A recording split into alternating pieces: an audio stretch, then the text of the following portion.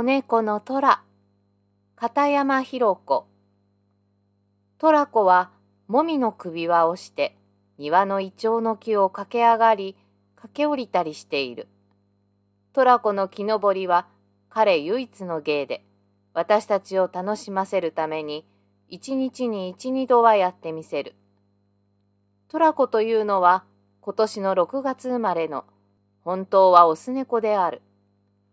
はじめ林家にもらわれてきたが、そこには犬と2匹の子豚がいて、幼い猫の心にも怖くて落ち着かないらしく、私の家に来ては食事をねだっていた。物を食べさせるとそこに住み着くというから、林家に義理を立てて、ほんの少しのものしか食べさせず、来れば庭に追い出すようにしていると、その後来なくなって、どこかに拾われたらしく、二週間も経って見たときには、赤い首輪をして、何か忙しそうに庭を横切ってゆくところだった。トラコと呼ぶと、ドキンとしたように慌てて逃げたが、すぐまた思い返して、ここの家にも一般の義理があると思ったらしく、すぐにお勝手から上がってきて、いつも通りに泣いて何かねだった。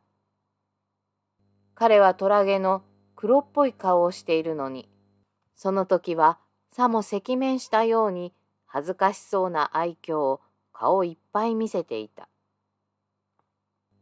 確実ぐらいに来てお昼を食べて、庭で遊んで夕方帰ってゆく。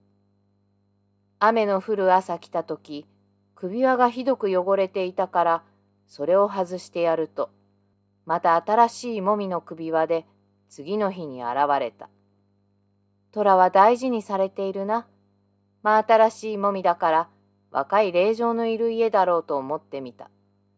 カステラや芋が好きなので、女猫のような錯覚を感じて、トラコと呼び慣れてしまった。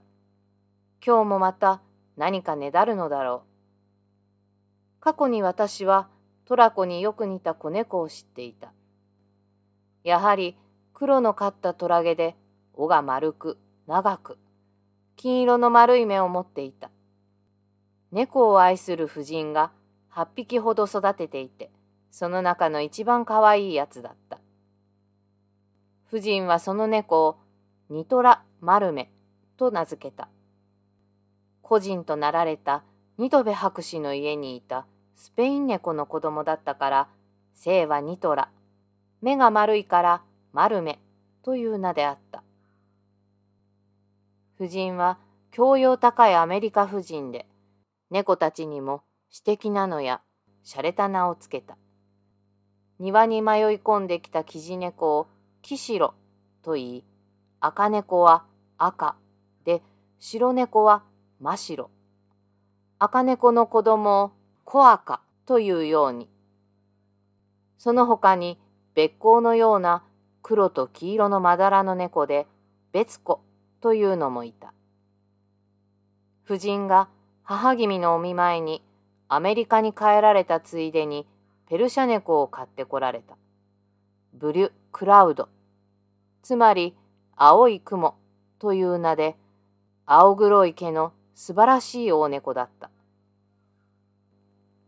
夫人は大谷大学の教授、鈴木大拙博士の夫人、ビアトリス女子で、もう今は世にない方である。私は夫人に熱いお世話になった。アイルランド文学の本がたくさん丸善に来ているから読んでみては？と勧めてくださったのも夫人であった。